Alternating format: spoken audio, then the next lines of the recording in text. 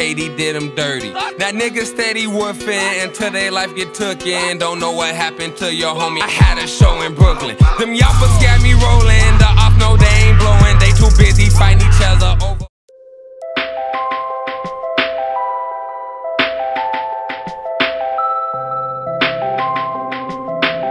CJ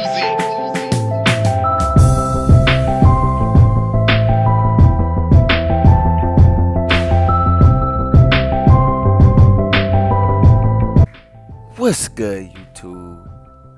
First off, I want to give a big shout out to Cole the man for this gameplay, bruh. But anyways, today I'm finna show y'all how to do this little speed boost tutorial off the inbound, bruh. So first off, make sure you guys subscribe. Make sure you like this video. Make sure you go subscribe to his channel. I just tweet hella hard, but as y'all can see, this is deadly, bro. You can use it with sharpshooters.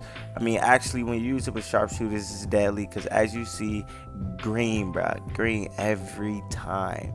So um next up i'm going to show you how to do it so to do it is when you're running towards your man that's inbound that's inbounding the ball you want to you know how you run towards him you want to run towards him and then as soon as you're about to go the other way you want to click b all right if you're on xbox and if you're on playstation you want to click circle so i'm on xbox so i'll run towards him click b and then run the opposite way and then he's gonna do like a fast speed boost bro so let me give a little recap. You run towards the ball.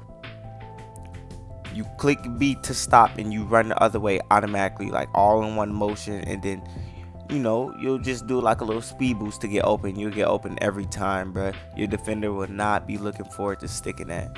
And, you know, I've been doing this at the park and it has been working, bro. So if you can't do it at first, bro, just keep practicing. Um, once again, thanks Cole the man, bro. So we on we on to this 10k grind, bro. Let's hit this 10k, man. Make sure you guys sub, make sure you guys like, and I'm out, bro.